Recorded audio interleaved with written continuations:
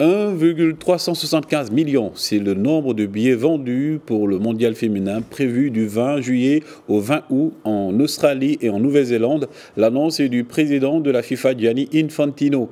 Comme la Nouvelle-Zélande, la sélection australienne a battu à Sydney son homologue irlandaise par un but à zéro en match de la première journée du groupe B. Sur cette compétition mondiale qu'abrite l'Australie, la Nouvelle-Zélande également, je vous propose d'écouter Michael Kutz, ambassadeur d'Australie à Rabat.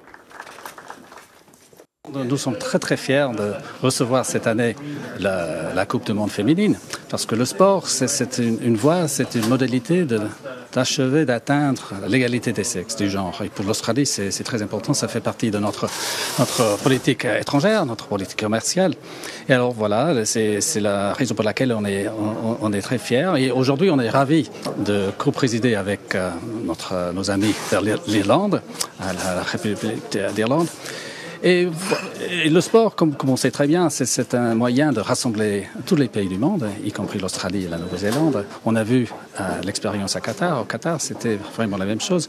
Mais euh, en Australie, il faut se rappeler que c'est une, société très diverse. Il y a une grande diversité, c'est très multiculturel. J'aime toujours citer ce chiffre. Sur, les 26 millions d'Australiens, 50% euh, soit est né à l'étranger, soit est un parent qui, est né à l'étranger. Il y a 2 millions de musulmans, il y a 3 000 Marocains, il y a 1 000 Marocains qui étudient chaque année.